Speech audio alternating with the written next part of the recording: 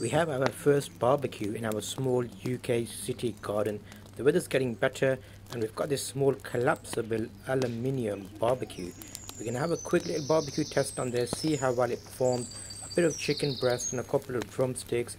Hang about, stay tuned. It's a nice summer's day, so barbecues will be an option for you if you want to get some food outdoors, especially if you want to spend time in your garden so hopefully you find this interesting and you can find links to this barbecue in the description if you want to pick it up. It's nice and compact.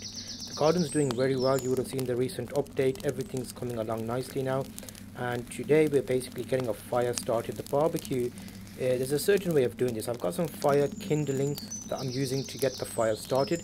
If you're using firewood you need to first get the fire going to heat up the wood that you're burning to create uh, coal and ember which then is what you use to cook your food on. So it's interesting it's the first time we're doing this in the garden where we're actually cooking on an open barbecue. I did do how to do an open fire in a garden chimney. I might link that in the cards or the description. You can check that version out. It's the same principle. Get a fire going burn some wood which then gets uh, turned down to ashes and I'll show you the process here and also how we actually cooked on this little stove uh, grill. What would you call it? I'll call it a barbecue pit fire situation. And it, we'll see how well it performs. So you can see the wood turning grey now. So that's the ideal situation for this type of fire.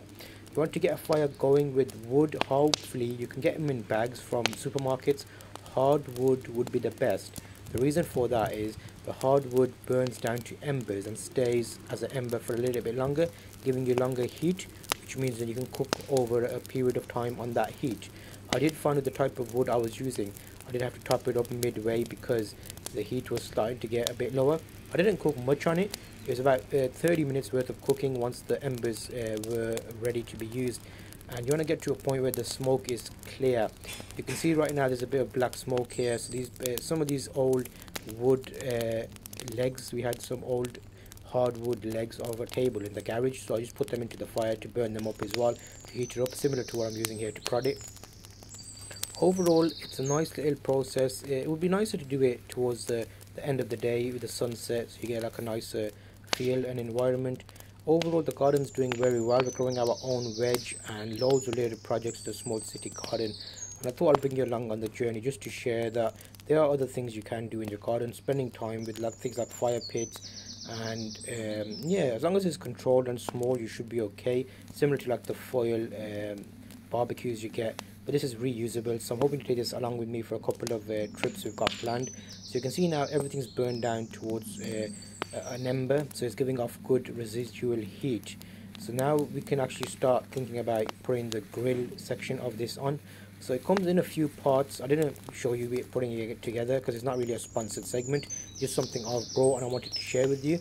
And uh, once the fire starts dying down you can actually put the grill element of the, the cooking system on top. Um, so we'll do that in a few seconds I think. We'll have a let this smolder for a little bit. I just want to make sure the heat and the flame is not going to uh, burn our food because if you cook straight on flame it burns. So here's a little section you can put on top which is where your food would go on and use a piece of uh, some tongs because it will be hot. Position it on top and it kind of slots into place and then you can start putting your food on. Uh, originally we are going to cook this food indoors but we thought we might as well try the fire pit. So some of these have breadcrumbs on. So ideally you don't want breadcrumbs really. You could try it. It's like a fish finger but it's actually chicken breasts. I've got some with breadcrumbs on and then some uh, with no, no breadcrumbs. But ideally what we want to do is first test it. So that little piece there is just to see how well it cooks because it's my first time I want to just test it and not ruin all the food. So you can actually do this where you use one piece and see how long it takes to cook. Using this example I noticed it's about three and a half to four minutes on each side um, and it allowed you to cook for this thickness of meat. And you can see when you spin it around it gives like a nice charcoal uh, finish. And the good thing about cooking on a grill or open fire is the chicken tends to be more tender and more succulent like um, inside it'll actually be a little bit more moist and not fully dry. Sometimes you get like uh, chicken nuggets that are really dry and they don't taste that nice. So with this fire you can see at the bottom is smoldering so the heat's creating enough uh, heat to cook the chicken. And I'm, I'm skipping between here uh, some time because if I show the whole video it'll probably be about 30 minutes uh, long. Obviously I've cut little segments out just to give you the overview of how well it's cooking. Uh, the first piece I'll try half and obviously we're going to get our inspector to test the other half. He's waiting patiently uh, to let us know if the food's going to be good or not. So Max at Max Labsky, you can check him out. What you can also do is we had these little chili tubs of chili. You can actually brush it on just to give it a bit more of like a, a tangy taste and a bit more if it's going to dry out you want it to stay uh, moist. So again I'm just using the, the tongs to prod it a little bit just to make sure it's fully cooked and it was about six minutes seven minutes in total half on each side then I used a, a, knife just to cut it to see if it's good and you can see here was actually very nice. It turned out well. Some of the other pieces are thicker so I, am assuming I'll need to leave them for a little bit longer. You can see when you squish it uh, see how that is? It's kind of uh, squidgy but not wet. It's fully cooked through so that's a good a good thing there. So now that we know it's doing well I'm putting the rest of the pieces on here. You see there's a couple of drumsticks and uh, chicken breast and then we've got um, chicken without any toppings. It's just like a bit of a, a, mix of a few spices on there. The other one is breadcrumbs and these turned out really nice. It's similar to Pepe's chicken burgers you know when they give you the grill XL burger meal.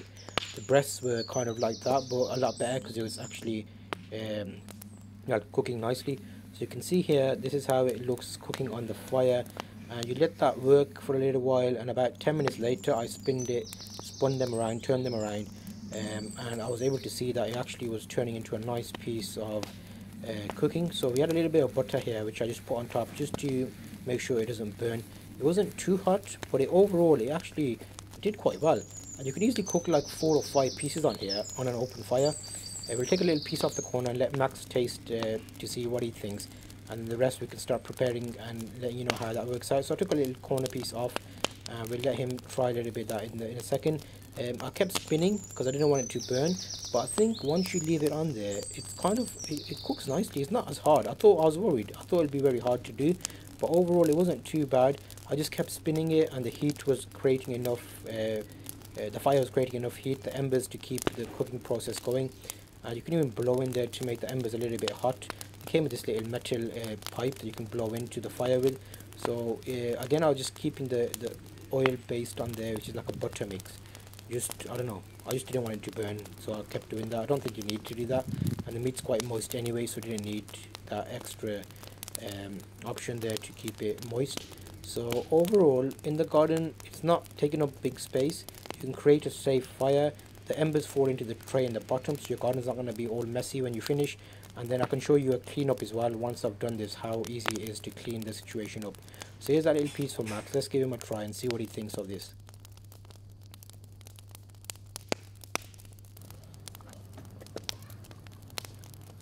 Oh yeah he loved that. He really liked that so we'll save a little bit for Max uh, once we've finished and he can have a bit of that. So you can see as time is going on the colors are slowly getting a lot better and the meat itself it's very it's like a, a grill style but it's nice and moist and tastes tender. I don't know how to explain it but it actually tastes really nice. It's better than any of the supermarket or the the fast food places because you're actually cooking it and you're getting the full experience of it straight away. Give it a couple of seconds to rest once you take it off in a plate and add a bit of yogurt and uh, we had a, a, yogurt mix with like some herbs from the garden and we put that into the, the plate with it and that was a, a nice little uh, treat. So it's a it's good protein chicken and it keeps you going. And you can see here it cooked very nicely. And I was very pleased. Uh, as a first barbecue attempt it was quite straightforward. So there's a couple of the pieces that I broke there just to make sure that it was fully cooked um, just to give a gauge of it. So we've got some chard still growing in the garden so we'll just wash that and get a few pieces of the chard uh, to give that an overall piece. The chicken itself speaks for itself, so you don't need too many tastes competing with it. The breadcrumbs actually did quite nicely because they gave it a little bit of crunch. Overall, I'm very pleased with it. It's a nice little option for you. And how much did I pay for this? Uh, I'll have to put a link in the description. Uh, prices can change. And I noticed, see what I was mentioning about the fire? On the side, you can lift it up and put a few more woods in if you want to keep it going. Because some of the other pieces, like the, the drumsticks, needed a little bit longer and a little bit more heat and I wanted to char them a little bit you know like with the they have a bit of a burn. Um, so overall it, it, worked very nicely you can get the pieces out and you can share them uh, amongst your family and enjoy a, a, barbecue that you've cooked yourself.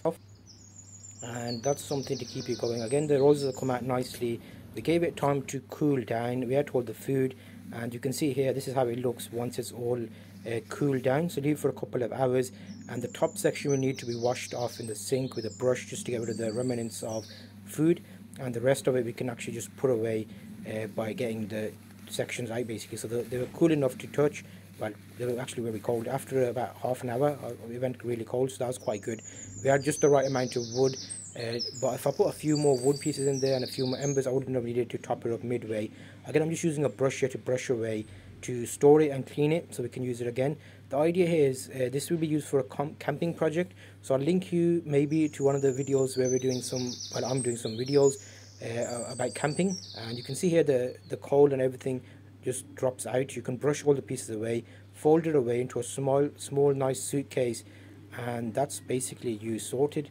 So it's all, always a, a nice option to have something that can be easily set up and easily put down you can use the other options like you know the supermarket barbecues, but I think that's a, that's not good for the environment. Like in terms of how they do it and people throw them away always in the park. Whereas this way we're all self-sufficient. We're using wood. You could buy from the shop wood, or you can use some from your garden if you have like trees that you've cut down last year. And then all that is ever left from this is just that uh, coal, uh, the the ash, which you can actually use for the garden uh, in your compost you can put the ash in as it's cooled down and the rest of it packs away and it can be used again so we're not creating additional waste for the environment we're just using like the minimum amount um, of wood to burn and cook the food. And it gives you a nicer taste. Cooking on a fire is a lot better than cooking on gas and fake gas fires. So there was a definitely improvement. If you can and you have a space it's worth trying this out. It doesn't have to be this type of expensive one. You can even make a, a fire on a chimney. I just found this was a lot easier because it was designed to have food on top of it. I was able to keep an eye on it. You can even get the normal round barbecues like the, the generic ones. But I didn't want something really big in the garden. So the reason I got this was it's nice and small and you can pack it away. You'll see here it just becomes very small and you can store it and it doesn't create like a eyesore in the garden of having a massive barbecue in there. Overall, I'll do a few more updates on the garden update process as the small city garden grows and we get a lot more flowers and vegetables. We might uh, make another one of this on the zucchinis. I'm thinking of grilling the zucchinis because I'm hopefully getting a lot of zucchinis and beans and things from the garden. So yeah, thank you for joining me today. It's been a pleasure and I'll see you on the next video.